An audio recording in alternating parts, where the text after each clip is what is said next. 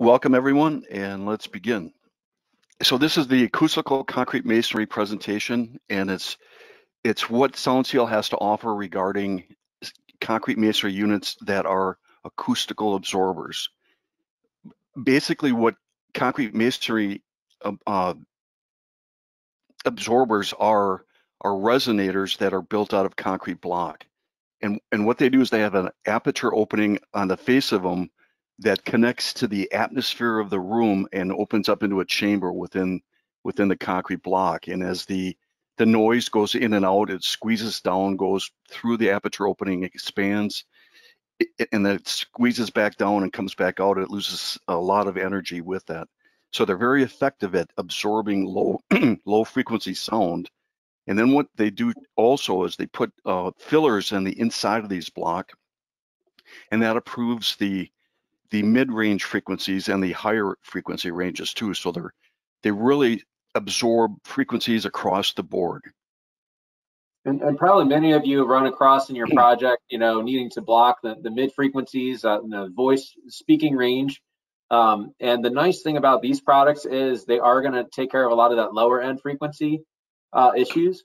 And uh, sometimes you're going to see on, on specifications for projects that you'll have that requirement for the lower end to be absorbed more um, when you're looking at specific third octave band frequencies, which Kerry's going to get into in a little bit. But uh, just wanted to kind of point that out that these are very good uh, low frequency absorbers. Um, and also to point out that we do have a, a question uh, tab. If you have any questions as we go through mm-hmm. the presentation, please type them in and we will address them as soon as we can. So in order to understand what concrete acoustical concrete masonry is, we'll do a little fundamental um, lesson here on just regular concrete masonry units and get an understanding of that. What, what you when you see a concrete masonry wall up and, and installed, you see the face shells. So there's two face shells, one on the front and one in the back, and that's the the wall that you see.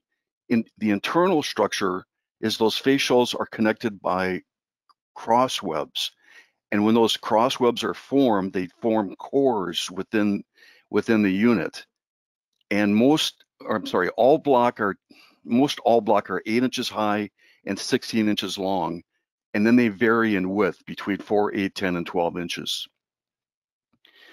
The, the block dimensions, if you're designing, they, they make a nominal size modular framework of, of the wall, but the block of themselves are 3 eighths of an inch short in height and, and in length. Their actual sizes, let's say, are seven and five eighths high by 15 and five eighths, and that's to allow for a mortar joint. So when you add a three eighths inch mortar joint, you're back to modular construction.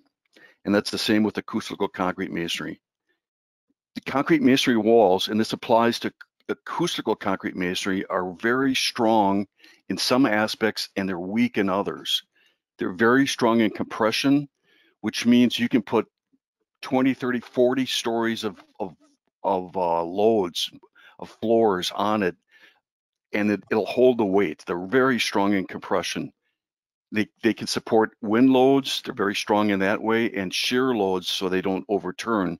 But they're weak in tension. You can pull them apart real easy and you can twist them um, real easy. So they're weak in that.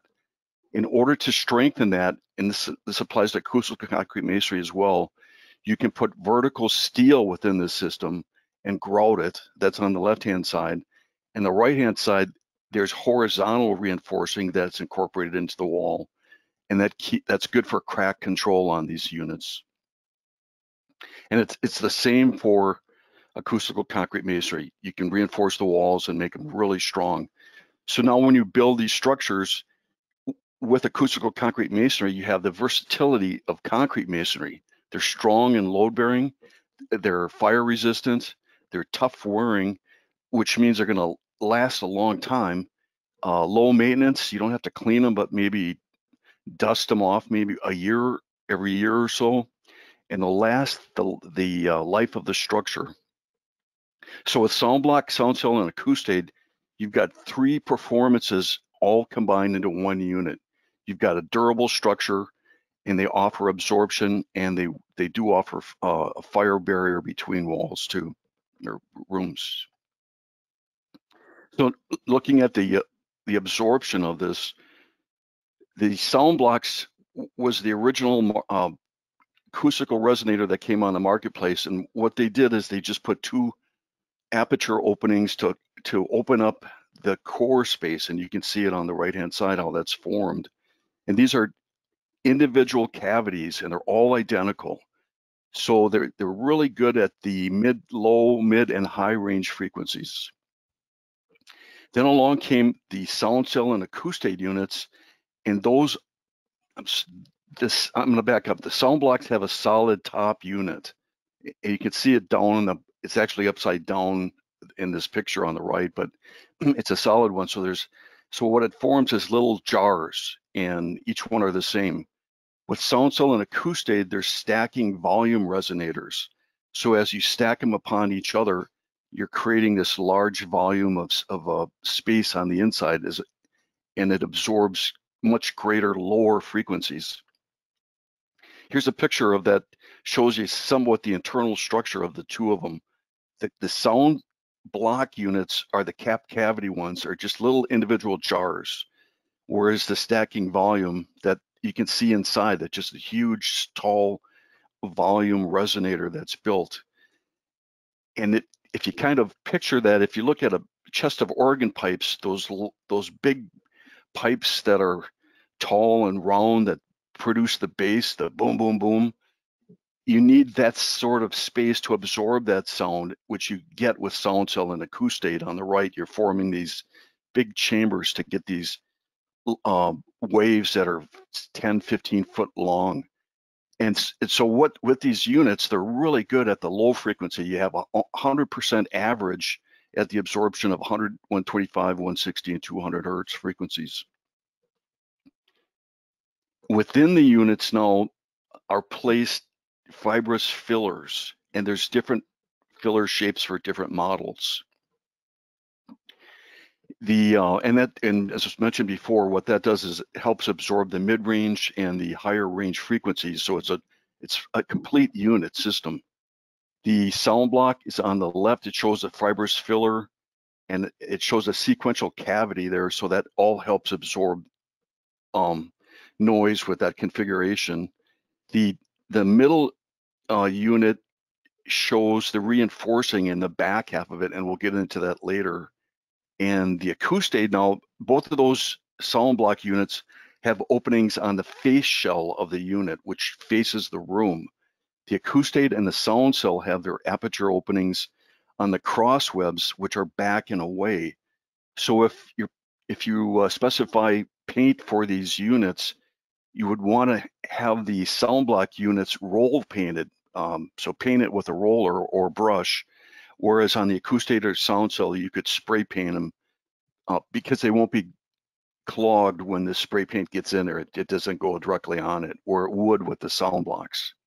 Just a comment on the uh, just the physical appearance of the block. You're, you're not going to see the, um, you know, this is a great kind of top view of the product, but you're not actually going to see that uh, the infill product whenever you're looking at the actual product. You'll just see a really nice uh, concrete, um, you know, face to it, facade. Correct. That's why the uh, sound block units fillers are black, so you won't see them, and the the acoustate and sound cell can be any color they are. So because they're backing away, you don't see those. Now, as far as reinforcing the units, uh, you've got the sound block that's formed with the back half of the unit is a clear cavity. So when you stack that up one on top of the other, you've got a space for the steel and the grout to be placed in the wall with the sound cell and the acoustate units, if you're putting reinforcement reinforcement on the up on the picture, let's say that's every third core, you would have grout shields placed in every third core, and then that creates a space for concrete and grout um, to be placed in that cavity. Uh, going into some basic noise principles, I'm sure most of you already know this, but there might be a few architects that would benefit from this. Uh, we'll look at reflection, absorption, and diffusion.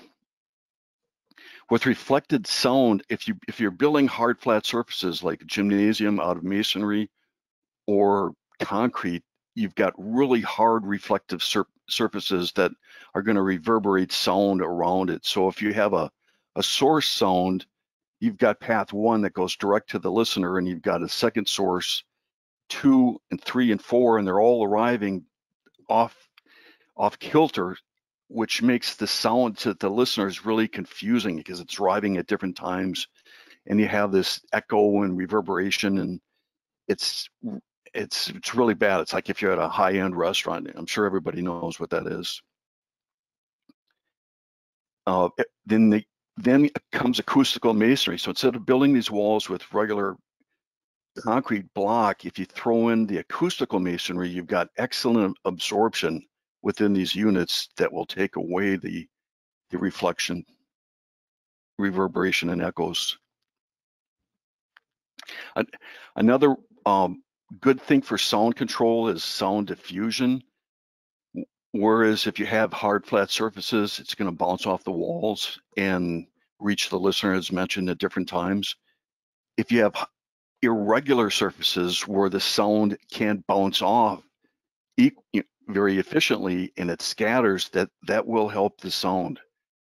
Uh, sound cell and acoustate are both irregular faced units that will also, as a, as a secondary benefit, scatter sound and provide some diffusion.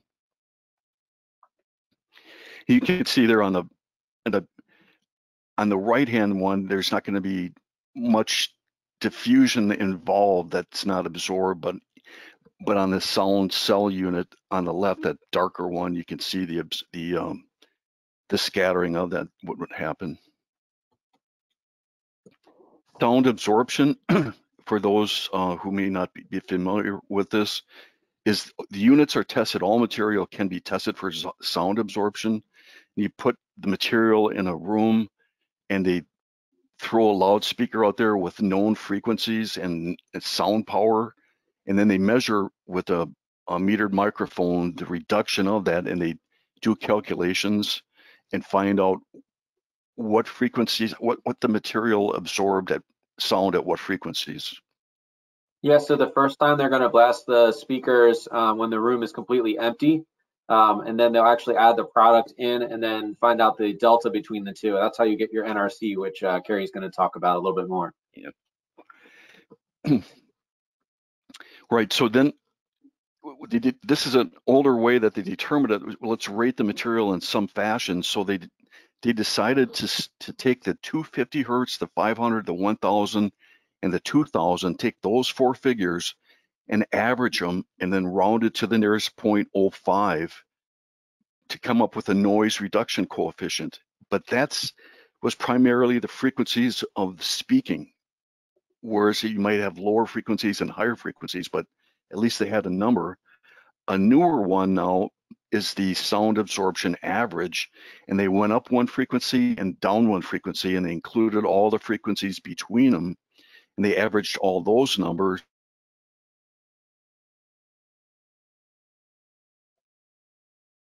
They came up with a number to the closest 0.01. And you can see how the 8 inch sound cell rates at those and the average of that. Which means um, if you're designing for something Kevan, can you hear me? Uh, your audio cut out a little bit. Okay, how about now? Yeah, I, I can hear you, yes.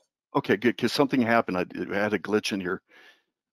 Um, so if you're designing for absorption for a project, you don't want to necessarily go to the NRC number uh, in the blue line there, there's a, a, a one inch panel brand X, and those are actual numbers. And they did really good at the 5, 100, 500, 1000, and 2000 and 250, and they average out to a NRC of 1.0. But if you're designing for rumbles and transformers and roars, and that's to try and absorb that noise, that thing is going to do absolutely almost nothing in absorbing the noise that you're targeting. So what you'd want to do is consider something that has a really good low absorption uh, capability like like acoustical concrete masonry. Where the and you can see the wavelength at a 63 hertz is 18 foot long. So these are long, big sound waves that has to be captured, and you're not going to do it with a one inch panel of acoustical uh, material.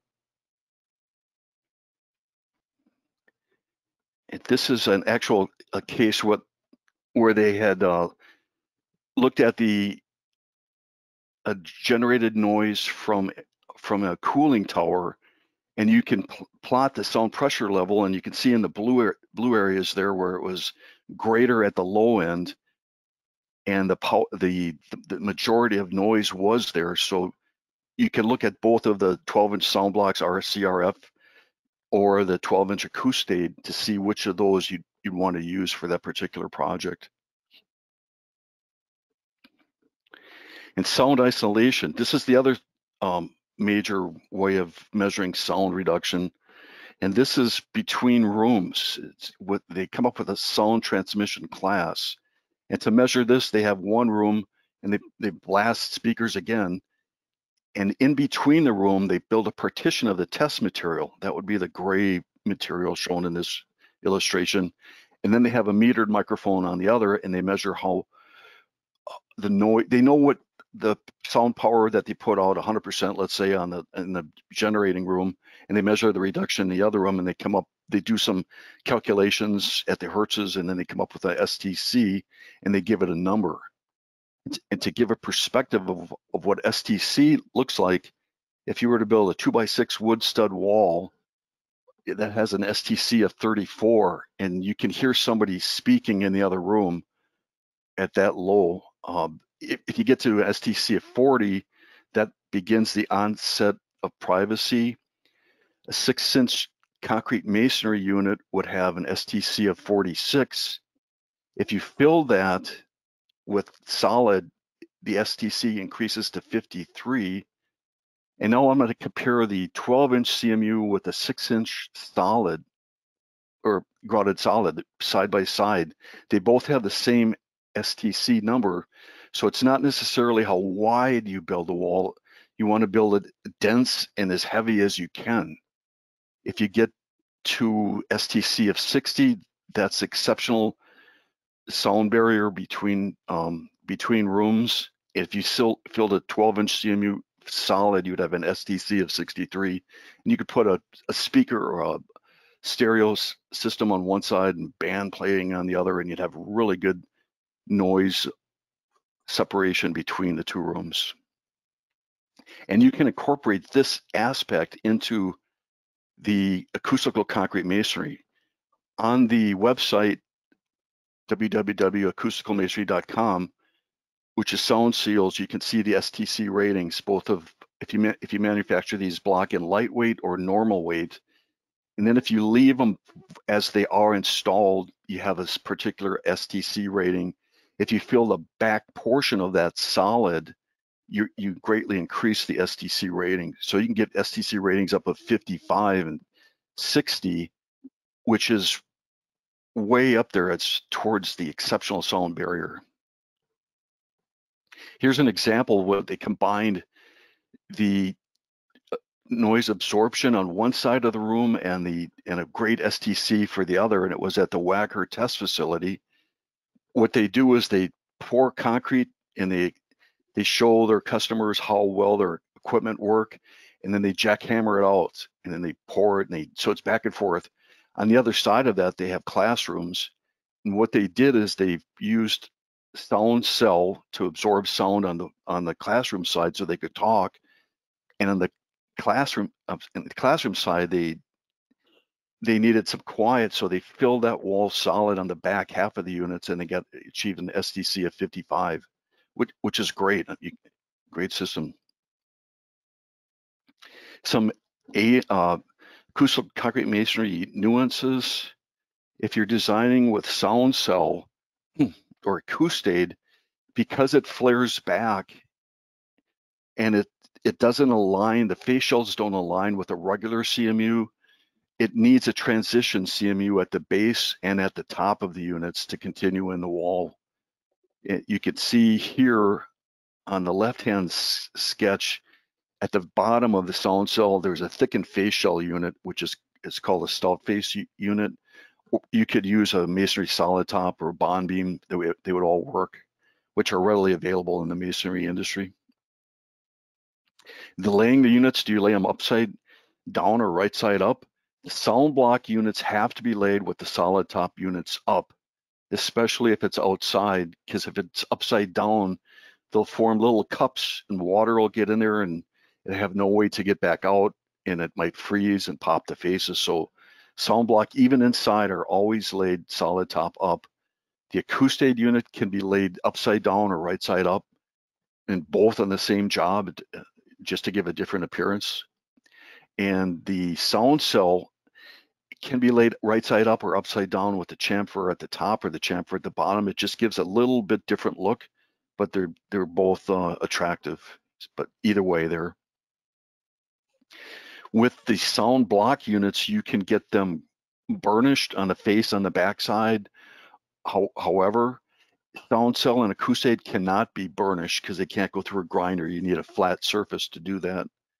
And sound block can have the backside of the aperture opening face can be split open to have a, a rock face. And that used to be good for where you're doing a gymnasium and you could build a split face on the outside and the acoustical absorber on the inside and a single wall system. But nowadays, because of uh, the um, energy codes, this wouldn't work, but you could use it towards the another classroom or hallway or something. And I'm just gonna, I'm not gonna go through this, but just to let you know how this cost comes in. And this was done on a, a real life um, gymnasium, multi-purpose room that was 20 foot high, 96 foot long, 64 foot wide, and they calculated the CMUs and and they put in how many acoustical masonry units that they would substitute, and then they did a cost or we did a cost analysis of both on the fabric panels and what that would cost to put the block up and then add the panels or if you were to, to come in and just remove some of the concrete masonry and replace them with acoustical concrete masonry. And what you what we found out was the acoustical concrete masonry was actually more expensive, but on a job of this size, it was not that great. I mean, $356 or it was 2% increase in cost, but you don't have to replace them 10 years or 15 years, they won't get dirty, they won't fall off the wall. They will be there for the life of that building. And they, I think they look attractive as well. Yeah, the durability and just the attractiveness of these projects, uh, you can't beat it. Um, and I think you might have mentioned it, Kerry, but just the fact that it's, it's built in and not having to add add that in later is definitely a nice advantage when you're doing building projects. Mm-hmm. And then just standing here with a few applications on treat or treating rooms, auditoriums, you have to have some sort of acoustical treatment. And you can on the upper left there there's some add-ons or they're built in on the other two pictures. Sound blocks in that's uh Acoustaid. Band rooms. Now, here again uh, on the left hand side you have these add-ons and although this isn't this is not bad because if you fill that those concrete blocks solid, that would be a really good NRC so that band room doesn't go, let's say, to a classroom on the other side. However, you can also do it built in, but if you did it on the right, you just can't put the masonry units in because someone could get in there and flank and maybe come out on an electrical outlet on the backside. But if you were to do it on the right hand side, you'd want to fill the back portion of that solid like they did on that Wacker presentation. So you have excellent absorption within the band room and a great STC so it doesn't escape that room.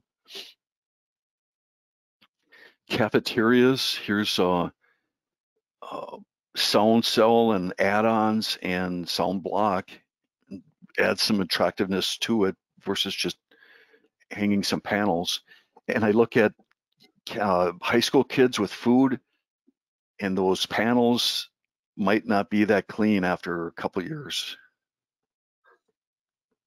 Here's another application where these are almost identical structures, walls, hard hard walls, clerestory windows, truss roof bearing on it, and the architect on the left had had to add on acoustical absorption and those things are only good for the mid to high range. So if you're if you have tubas playing or bands playing or or a lot of things it's not going to be that effective. And the smart architect on the right used concrete masonry with acoustical concrete masonry and absorbed all and he also offered a very attractive looking wall. Um, natatoriums here again you've got an add-on versus actually building it within the wall, you've got yeah a lot of noise problems generated, sound bouncing off the water and the walls and so on. It's good to have it there. And so that concludes it. And uh, so I appreciate everybody's time. Uh, our contact information is here on the screen. If you are um, if you are in need of acoustical concrete masonry units, we have a section on the SoundSeal website that provides uh, the testing information. It also provides a connection to local uh, block plants, uh, concrete block plants. So that, that's going to be a good way for you to to get in touch with them. Please feel free to reach out to us directly. We can also get you in touch with them.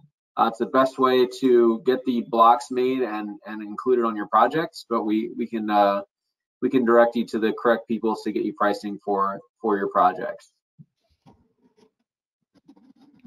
So I guess that concludes our presentation today. Thank you everybody for joining us. And uh, I uh, hope you learned something new about acoustical concrete masonry units today. I know I, I did. Yep. Thank you all.